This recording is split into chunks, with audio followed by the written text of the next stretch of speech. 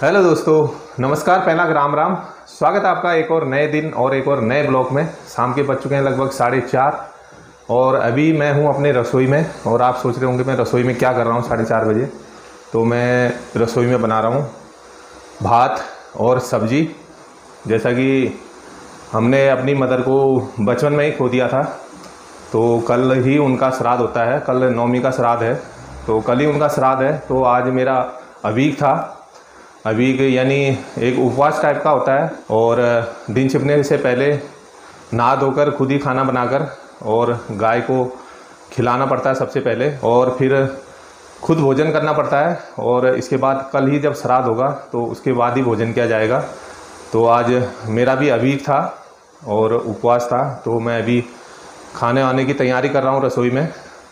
और कई बार बहुत से लोग कमेंट करते हैं कि आप अपने मदर को नहीं दिखाते हो। तो मेरी मदर न दिखने का यही एक रीज़न है। और, बहुत पहले ही हमने उनको खो दिया था बचपन में ही। तो मुझे तो ये कहने में भी बड़ा सा दुख होता है और तकलीफ़ होती है, लेकिन यही सच है।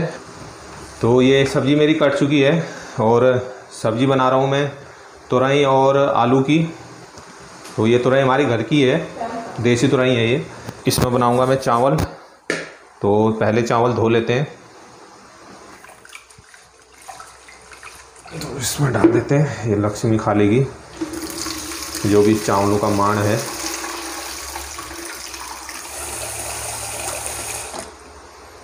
वो धुल चुके हैं चावल तो अब रख देते हैं इसको गैस पर।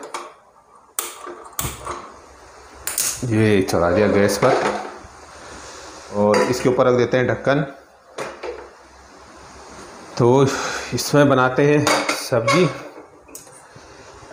इसको भी ऑन कर देते हैं।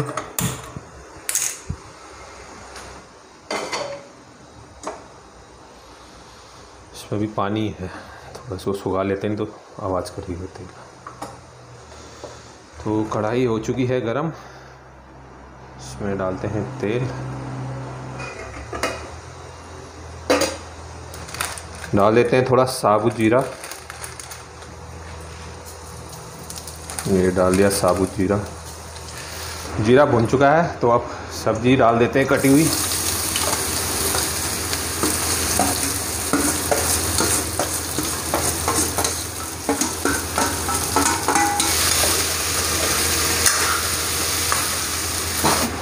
ये रहा धनिया पाउडर। ये जीरा पाउडर। और ये रही हल्दी। और ये रहा नमक। को मिला लेते हैं बढ़िया से। तो ये हो चुके हैं सारे मसाले मिक्स। तो थोड़ी देर इसको ऐसे ही घुमाते रहते हैं ताकि मसाले थोड़ा पक जाए।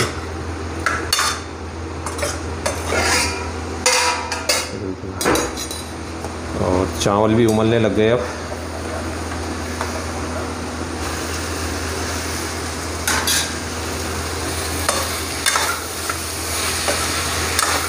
इसमें डाल देते हैं पानी।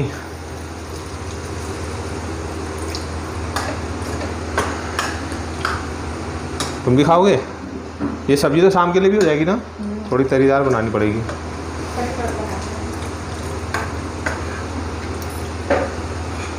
तो अब रख देते हैं ढक्कन, इसको देते हैं पकने। और चावल को एक बार और घुमा देते हैं। दस मिनट बाद पक जाएँगे। और अब मैं काट कर लाता हूँ केले का पत्ता, क्योंकि खाने से पहले गाय को गगरास देना होता है केले के पत्ते में। तो चलते हैं, केले का पत्ता काट के लाते हैं। तो अब तो दिन भी छोटे छोटे होने लग गए। जैसे जैसे समय बीतता जा रहा है, दिन छोटे छोटे होते जा रहे हैं और रातें बढ़ते जा रही है। तो अभी लगभग पाँच बजने वाला है। तो थोड़ी देर बाद सूरज देवता भी ढल जाएँगे। तो मेरा खाना लगभग बन ही चुका है तो सूरज ढलने से पहले पहले देना होता है। तो अभी केले का पत्ता काट कर लाते हैं और तब तक पक जाएगा। फिर फटाफट लक्ष्मी को देकर और ख़ुद भी भोजन कर लूँगा मैं। इसी को काट लेते हैं।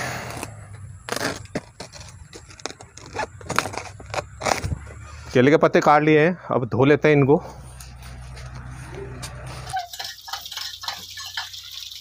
तो इन पत्तों को आप थाली में रख देते हैं। और फिर लल्लू को भी दे देंगे थोड़ा सा, क्योंकि वो भी देखेगा तो उसको भी थोड़ा दे देंगे।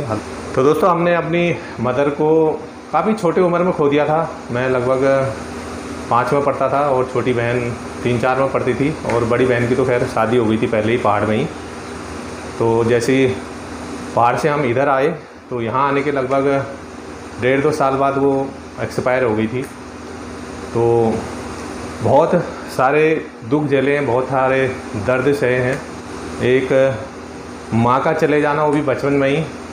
तो कितना तकलीफ़ और दुखदायक होता है। तो ये आप अच्छी तरह समझ सकते हैं। अभी रखा हुआ है उनके लिए, कल उनका श्राद्ध भी है। तो ये समय बड़ा दुखदायी होता है, बड़ी तकलीफ़ होती है, क्योंकि इस समय माँ की और ज़्यादा याद आती है।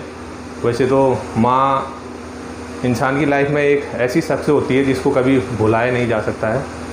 लेकिन विधि के विधान को कौन टाल सकता है? तो उनका उतना ही समय होगा तो वो चले गई।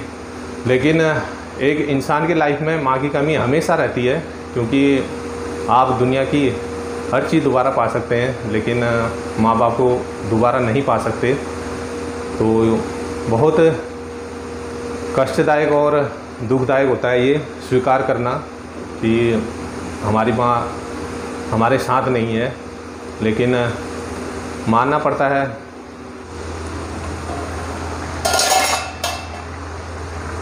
तो ये भी लगभग पक चुकी है। क्योंकि इसमें आलू तो जल्दी पक जाते हैं और जो तुरई थी वो भी मुलायमी थी।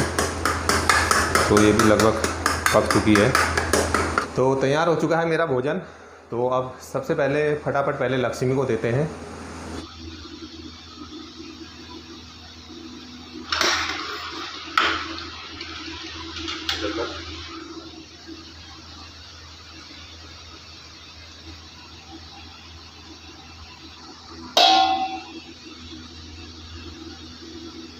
ये मैंने केले के पत्ते में रख दिया है भोजन, लक्ष्मी के लिए, और थोड़ा सा लल्लू के भी रख दिया है साथ में, क्योंकि दोनों साथ में ही रहते हैं वो, अब उसको तो देंगे, उसको नहीं देंगे तो ये अच्छा नहीं लगता है तो उसको भी दे देंगे साथ में।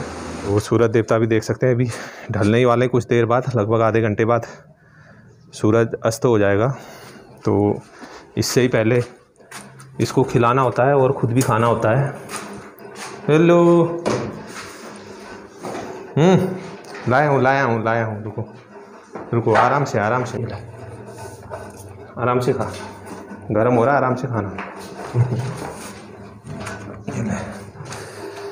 गाय को गगरास देकर आ गया मैं, और अब मैं खुद भी भोजन कर लेता हूँ।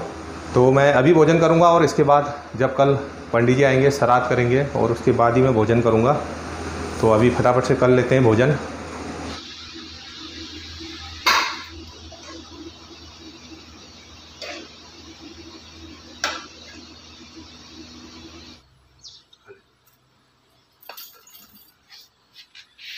तो हो चुका है मेरा भोजन और सूरज देवता भी थोड़ी देर में अस्त ही होने वाले हैं, लेकिन फ़िलहाल तो अभी अस्त नहीं हुए हैं और आज हल्के फुल्के बादल भी आ रहे हैं थोड़ी सी उमस भी है।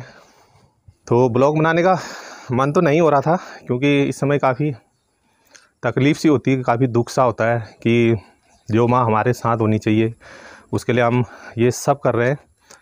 लेकिन यही कड़वा सत्य है, क्योंकि आज जो भी आप हमारा घर देखते हैं, सब कुछ जो भी चारों तरफ़ खेत खलियान देख रहे हैं तो सब उसी के बदौलत है, क्योंकि वही हमें यहाँ लेकर आई थी। पिताजी को तो इतना मालूम भी नहीं था कि कहाँ घर बनाना है, कहाँ ज़मीन लेनी, कहाँ क्या करना है। तो मेरी मम्मी ने ये सब कुछ इधर उधर करके तो हमें यहाँ लाई, नहीं तो हम भी पहाड़ों में कहीं धक्के खा रहे होते और पहाड़ में हमारा घर ऐसी जगह था, ना सड़क, ना पानी और बहुत दूर दूर मार्केट था। तो कुछ भी काम पड़ता था तो मुआनी आना पड़ता था और सुबह से शाम हो जाती थी। तो हमारे उधर के एक आध परिवार इधर आ गए थे। तो मेरी मम्मी ने भी पहले सोचा मुआनी में लेते हैं और फिर प्लान बना कि यहीं ले लेते हैं हम। तो पिताजी तो आर्मी में ही थे तो उसने इधर उधर करके जैसे तैसे इधर ज़मीन ली और फिर हमको इधर लेकर आई। जैसे तैसे करके उसने पहले मिट्टी की झोपड़ी बनाई हमने, और उसी में रहे कुछ साल। लेकिन यहाँ आने के लगभग डेढ़ दो साल बाद उसकी तबीयत ख़राब हुई, और फिर एक दिन वो चल बसी। तो हम काफ़ी छोटे छोटे थे, हमें अकल भी नहीं थी। तो उसके बाद हमने काफ़ी कुछ सहा, काफ़ी कुछ देखा, काफ़ी कुछ अनुभव किया, और अभी हमेशा उसकी कमी रहती है लाइफ में। उसने अपनी लाइफ में काफ़ी कष्ट सहे, काफ़ी दर्द सहे, काफ़ी दुख सहे। और अभी जब ऊपर वाली कृपा से सब कुछ ठीक ठाक हो गया है तो अभी ये कुछ देखने के लिए वो हमारे साथ नहीं है। लेकिन जहाँ भी है, वो देख रही होगी और ऐसा लगता है कि वो हमारे आसपास ही है। तो दोस्तों ये थी थोड़ा सा इमोशनल हो जाता हूँ मैं, क्योंकि माँ माँ ही होती है। तो हमने तो काफ़ी छोटी उम्र में उसको खो दिया। तो अब मुझे भी जाना है, काफ़ी ब्लॉग इमोशनल हो जा रहा है। मुझे भी जाना है चक्की मोड़, अभी कुछ सामान लेके आना है कल सरात के लिए। तो आज का ब्लॉग यहीं पर एंड कर देते हैं। मिलेंगे एक और नए ब्लॉग में। तो तब तक के लिए बाय बाय